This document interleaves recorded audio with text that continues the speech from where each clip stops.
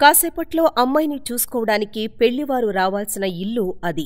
కుటుంబంలో అందరూ ఆనందంగా ఉన్నారు. తమ కుమార్తెకు మంచి సంబంధం దొరికిందని తల్లిదండ్రులు పెళ్ళి కూతురు అదృష్టవంతురాలని చుట్టాలు తెగ ముచ్చట పడిపోతున్నారు. ఇంతలో పెళ్ళివారు రానే వచ్చారు. పెళ్ళికొడుకు చూపులు పెళ్ళికూతురు ఎప్పుడొస్తుందా అన్నట్లుగా ఎదురుచూస్తున్నాయి.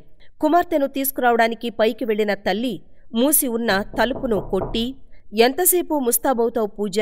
నువ్వు ఎలా ఉన్నా ఆ అబ్బాయికి నచ్చుతావులే త్వరగా రా అంటూ మళ్ళీ తలుపు కొట్టింది. ఎంతకీ తలుపు తీయకపోవడంతో కిటికీ దగ్గరకు వెళ్ళి చూసింది. అంతే. పూజా అని గట్టిగా అరిచి స్పృహ తప్పి పడిపోయింది. దాంతో పెళ్ళివారందరూ పైకి వచ్చారు. పూజ మెడలో తాళి కట్టాలనుకున్న ఆ పెళ్ళికొడుకు పూజ మెడలో ఉరితాడు చూసి షాక్ అయ్యాడు పోలీసులు అనుమానాస్పద మృతిగా మాత్రమే కేసు నమోదు చేయకుండా ఏదో జరిగిందని అనుమానించారు. తల్లిదండ్రులతో విచారణ మొదలుపెట్టిన కాకిలు వారి కుమార్తె గురించి వివరంగా చెప్పమని అడిగారు. పూజ ఇంజనీరింగ్ చదివిందని చాలా మంచిదని ఎటువంటి లోటు లేకుండా చూసుకున్నామని ఏ కష్టం వచ్చినా ధైర్యంగా ఎదుర్కొంటుందని కాలేజీ ఇల్లు తప్ప మరేమీ తెలీదని అన్నారు. ప్రేమ వ్యవహారం ఏమన్నా ఉందా అని అడిగిన ప్రశ్నకు వారు చీచీ అలాంటిదేమీ లేదు అని చెప్పారు. అయినా వాళ్ళేదో దాస్తున్నారు అని గ్రహించిన ఎస్ఐ పూజ చదువుతున్న కాలేజీకి వెళ్ళారు అక్కడ పూజ గురించి ఒక ఆసక్తికరమైన నిజం తెలిసింది. ఆమెను కలవడానికి తరచూ ఒక అబ్బాయి వస్తుండేవాడని అక్కడున్నవారు చెప్పారు. కేసుకు ఆధారం దొరికిందని అనుకున్న ఎస్ఐ నవీన్ పూజ ఫ్రెండ్ రేఖ వద్దకు వెళ్ళి నీ స్నేహితురాలు ఇక లేదు రాదు అని బాధపడుతూ ఉంటావా? లేక ఆమె చనిపోవడానికి కారకులైన వారిని శిక్షించడానికి సహాయపడతావా? అని అడగడంతో రేఖ తనకు తెలిసిందంతా ఇలా చెప్పుకుంటూ వచ్చింది. పూజకు చదువన్నా కొత్త విషయాలు తెలుసుకోవాలన్నా చాలా ఇంట్రెస్ట్. కాలేజీలో ఏ ఈవెంట్ జరిగినా పార్టిసిపేట్ చేసేది. అలా ఒకరోజు బయటి కాలేజీలో క్విజ్ కాంపిటీషన్కి వెళ్ళింది. అక్కడే పరిచయమయ్యాడు రమేష్. పూజను కలవడానికి అప్పుడప్పుడు కాలేజీకి వస్తుండేవాడు. చాలా మంచివాడు. పూజను చాలా కేరింగ్గా చూసుకునేవాడు. వాళ్ళు ప్రేమించుకుంటున్నారో లేదో అన్నది మాత్రం తనకు తెలీదు అని చెప్పి రమేష్ అడ్రస్ ఇచ్చింది. దీంతో రమేష్ను కలిస్తే కేసు ఓ కొల్లికి వస్తుందని భావించిన ఎస్ఐ నవీన్కి మళ్ళీ నిరాశ ఎదురైంది.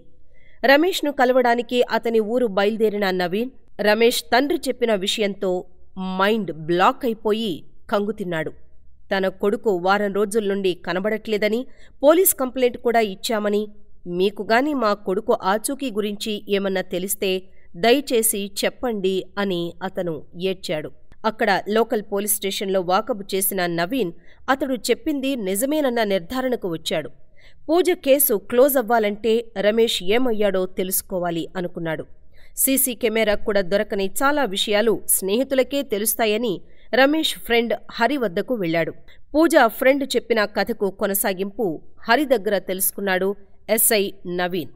రమేష్ ఎంబీఏ చదువుతున్నాడు. అతనికి ఫ్రెండ్స్ అన్నా డబ్బన్నా చాలా ఇష్టం. అలాగే ఎవరికైనా సహాయం చెయ్యాలన్నా ముందుంటాడు. ఒకరోజు వాళ్ళ కాలేజీ ఈవెంట్లో పూజ అనే అమ్మాయి పరిచయమైంది. ఆమెను చాలా ఇష్టపడ్డాడు ప్రేమించాడు. ఆమె కూడా రమేష్ను ప్రేమించింది. రమేష్ చెప్పే మాటల్లో పూజే తనను ఎక్కువగా ప్రేమిస్తుందని ఆమె ప్రేమ నమ్మకం ముందు ఎవరన్నా తక్కువే అని గొప్పగా చెప్పేవాడు. ఒకరోజు సడన్గా కాల్ చేసి తాను పూజ ఇంటికి వెళుతున్నాను అని అన్నాడు. అప్పట్నుండి వాడు కనబడ్డం లేదు అని తనకు తెలిసిందంతా చెప్పాడు హరి. హరిని కలిస్తే కేసు ఓ కొల్లికి వస్తుందనుకున్నా ఇంకా కాంప్లికేట్ అయ్యిందనుకున్నాడు ఎస్ఐ నవీన్. మరి ఆ రోజు పూజను కలవడానికి వెళ్ళిన నవీన్ పూజను కలిశాడా లేదా అన్నదే ప్రశ్న. అప్పుడే నవీన్కి ఒక ఆలోచన వచ్చింది. రమేష్ మొబైల్ని ట్రేస్ చేస్తే ఏమన్నా ఆధారాలు దొరకొచ్చు అనుకుని ఆ లిస్టు మొత్తం తెప్పించుకున్నాడు. చిత్రం ఏమిటంటే రమేష్ ఫోన్ నుండి అన్ని మెసేజెస్ మాత్రమే వెళ్ళాయి. ఎవరితోనూ ఫోన్లో మాట్లాడలేదు. ప్రతి మెసేజ్ పూజ నెంబర్కే వెళ్ళడం అంతేకాకుండా పూజ చనిపోయే ముందు కూడా రమేష్తో చాట్ చేసినట్లుగా కనిపించడం పూజ చనిపోయే ముందు కూడా రమేష్తో చాట్ చేసినట్లు గమనించాడు. పూజ చనిపోయిన గంట వరకు ఫోన్ పనిచేసింది. ఆ తరువాత పనిచేయడం ఆగిపోయింది. సో పూజ చనిపోయింది అని తెలిసాక రమేష్ తన మొబైల్ ఆఫ్ చేసి ఉంటాడని భావించాడు ఎస్ఐ నవీన్. ఇంతలో తనకు ఒక అన్నోన్ నెంబర్ నుంచి ఒక కాలేజీ కుర్రోడ్ని కిరాతకంగా చంపారు అంటూ కాల్ రావడంతో నవీన్ హుటాహుటిన బయలుదేరాడు. ఆ చనిపోయిన కుర్రాడు ఎవరో కాదు రమేష్. ఎవరు దొరికితే పూజ చావుకు కారణం తెలుస్తుందని అనుకున్నాడో ఆ వ్యక్తి దొరికాడు. కాని సజీవంగా కాదు నిర్జీవంగా. అతన్ని ఎవరు చంపుంటారు అంత అవసరం ఎవరికుంది అని ఆలోచిస్తూ పోస్టుమార్టం రిపోర్ట్ కోసం వెయిట్ చేశాడు ఎస్ఐ నవీన్. ఆ రిపోర్ట్లో మరో భయంకరమైన విషయం బయటపడింది. రమేష్ చనిపోయి వారం రోజులయ్యిందని. దీంతో ఎస్ఐ నవీన్ బుర్ర గిరగిరా తిరిగిపోయింది. రమేష్ చనిపోతే మరి పూజతో చాట్ చేసింది ఎవరు? ఇక్కడ కేసు ఇంకొక టర్న్ తీసుకోవడంతో నవీన్ పూజ వాళ్ళ కుటుంబ సభ్యుల గురించి ఆరా తీశాడు. బయట సేకరించిన ఇన్ఫర్మేషన్ను బట్టి పూజ తండ్రిని రిమాండ్లోకి తీసుకుని విచారణ మొదలుపెట్టాడు. అతడు చెప్పిన నిజాలు విని కంగుతిన్నాడు నేను సమాజంలో పెద్ద మనిషిలా బతుకుతున్నా. నాకు కులమన్నా పరువన్నా పిచ్చి. అలాంటి నాకు పూజ బిహేవియర్లో యాటిట్యూడ్లో మార్పులు రావడం గమనించాను. పూజ చదువుతున్న కాలేజీకి వెళ్ళి ఎంక్వైరీ చేస్తే తను రమేష్ అనే వేరే కులానికి చెందిన ఓ కుర్రోన్ని ప్రేమిస్తుందన్న విషయం తెలుసుకున్నా. తనకి వెంటనే పెళ్ళి ఫిక్స్ చేశా. ఆ విషయం రమేష్కి చేరడంతో మా ఇంటికి వచ్చాడు.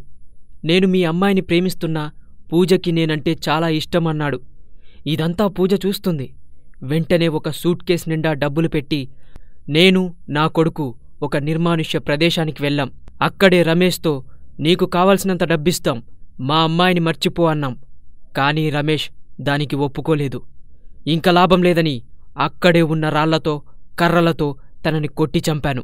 రమేష్ మొబైల్ లాక్కొని నువ్వంటే నాకు చాలా ఇష్టం పూజ కాని డబ్బంటే ఇంకా ఇష్టం. మీ నాన్న ఇచ్చిన బ్రీఫ్ కేస్ నాకు చాలా బాగా నచ్చింది. కాబట్టి బ్రీఫ్గా చెబుతున్నా నన్ను వదిలి మీ నాన్న చూపించిన అబ్బాయిని పెళ్ళి చేసుకోమని రమేష్ చేసినట్టుగా నేనే పూజకి మెసేజ్ చేశా. పూజ అన్నయ్యను కూడా ప్రశ్నిస్తే రమేష్ ఎలా చనిపోయాడో తెలిసింది కానీ పూజ ఆత్మహత్యకు కారణాలు మాత్రం తెలియలేదు. నాకు మా చెల్లంటే చాలా ఇష్టం కానీ మా నాన్న మాటకి ఎదురు చెప్పలేను. మా నాన్న పంపిన మెసేజ్ రమేష్ పంపాడు. అలా అనుకుని పూజ చాలా బాధపడి డిప్రెషన్లోకి వెళ్ళింది. పూజ అంత సింపుల్గా రమేష్ని మర్చిపోదు. తను వేరే వ్యక్తిని పెళ్ళి చేసుకుని ఆనందంగా గడపాలని భావించి రమేష్ చనిపోయినప్పటి నుంచి ఫోన్ నా దగ్గరే ఉంచుకుని పూజ చేసిన ప్రతి మెసేజ్కి రమేష్ చేసినట్టు నేనే రిప్లై ఇచ్చేవాణ్ణి. తన మీద అసహ్యం కలిగించేలా చేసి చివరకు పెళ్ళి ఒప్పుకునేలా తీసుకొచ్చాను. పెళ్ళి వాళ్ళు వస్తున్నా హడావిల్లో ఫోన్ ఎక్కడ మర్చిపోయానో తెలీదు. తన నిర్ణయం చివరిసారిగా రమేష్కి చెప్పాలనుకున్న పూజ రమేష్ మొబైల్కి కాల్ చేసింది. అది మా ఇంట్లోనే రింగ్ అవడంతో పూజ షాక్ అయింది. ఆ ఫోన్ అలాగే వదిలేసింది. అప్పుడు నేను వచ్చి ఫోన్ కట్ చేసి ఎందుకింకా వేధిస్తున్నావు? నా బతుకు నన్ను బ్రతకనివ్వు అని మెసేజ్ పెట్టాను. ఇదంతా గమనిస్తున్న పూజ నా దగ్గరకు వచ్చి రమేష్ ఎక్కడా? తనకు ఏం జరిగింది? అని ఏడుస్తూ చెప్పమని ప్రాధేయపడింది. తన కన్నీళ్ళని చూడలేని నేను జరిగిందంతా చెప్పేశాను. కానీ తను ఆత్మహత్య చేసుకుంటుందని మాత్రం ఊహించలేదు. ఈ విధంగా కేస్ క్లోజ్ అయింది.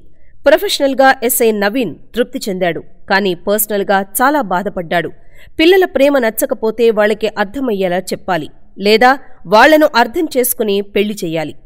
అలా కాకుండా పూజ తండ్రి తీసుకున్న నిర్ణయం ఇద్దరి ప్రాణాలు తీయడమే కాకుండా తనతో పాటు కొడుకుతో సహా జైల్లో ఉండేలా చేసింది. ఈ వీడియో మీకు